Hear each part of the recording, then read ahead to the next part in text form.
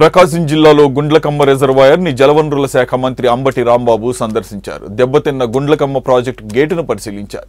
వెంటనే మరమ్మతులు నిర్వహించి నీటి వృధాను అరికట్టాలని ఆదేశించారు. గేట్ల మరమ్మతుల కోసం రెండు కోట్ల నిధులు కేటాయించినట్లుగా చెప్పారు. నీటి ప్రవాహం అధికంగా ఉండటం వల్ల రెండు రోజుల నుంచి స్టాప్ లాక్ ఏర్పాటు చేయలేకపోయామన్నారు.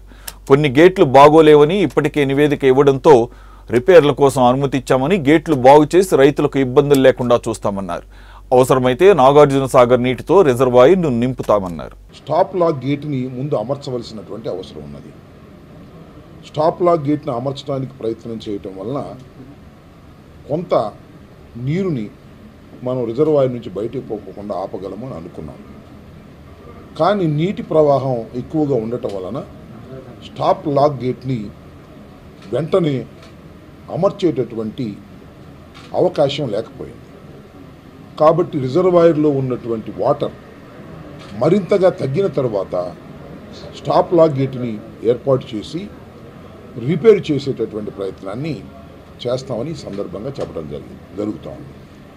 ఒక తక్షణమే రెండు గేట్లను రిపేర్ చేసేందుకు ప్రభుత్వం ఫైనాన్స్ పరంగా అదేవిధంగా అడ్మినిస్ట్రేషన్ శాంక్షన్ కూడా ఇచ్చి సుమారు కోటి రూపాయలు టెండర్ పిలవటం జరిగింది.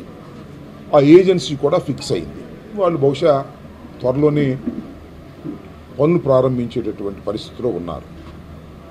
అయితే ఈ లోపల ఏదైతే ఏ గేట్లు అయ్యి ఆరు ఏడు గేట్లు ఆ గేట్లు బాగానే ఉన్నాయి స్టాప్ లా గేట్లు పెట్టిన తర్వాత బహుశా ప్రెషర్ పెరిగిందో ఏమో మరి ఈ మూడో నెంబర్ గేటు కొంత భాగం కొట్టుకుపోవటం దానివల్ల నీరు సముద్రంలోకి వెళ్ళిపోవటం జరుగుతూ ఉంది చేసేటటువంటి ఒక ప్రయత్నాన్ని ఈ ప్రభుత్వం engineering department irrigation department collector గారు అందరూ కలిసికట్టుగా పనిచేసి రైతులకు ఏ విధమైనటువంటి ఇబ్బంది నీరు లేకోకుండా చేసేటటువంటి ప్రయత్నం చేస్తాం